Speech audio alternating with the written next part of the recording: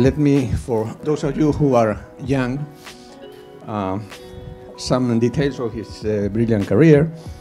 He started in Madrid. He did his thesis in the other university, then what he calls the Napoleonic University. He did a first postdoc in, at CERN for a couple of years, all then moved to Paris, and eventually to Harvard, where he was uh, a postdoc, and then eventually, I think, associate professor.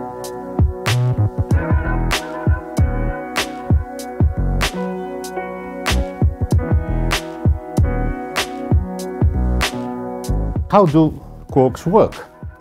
And that was uh, began to be understood with the SLAC data on electron deep inelastic scattering on protons around 1965. Suppose you want to compare two functions in a certain interval.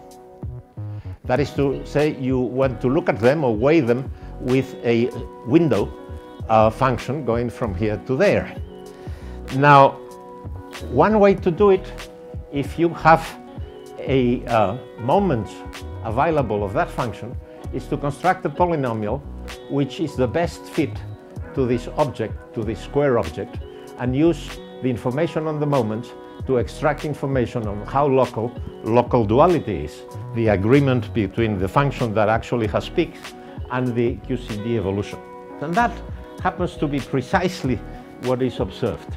Much more surprising was the existence of objects that had different mass than the conventional one, and not surprisingly, that was called strangeness. Even more surprising was the fact that someone, on the basis of pure theory, decided that there should be yet another dimension to this, which is charm.